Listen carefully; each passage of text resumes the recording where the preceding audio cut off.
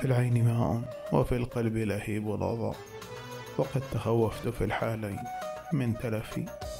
كالعود يقطر والنيران تحرقه كالماء في طرف والنار في طرفي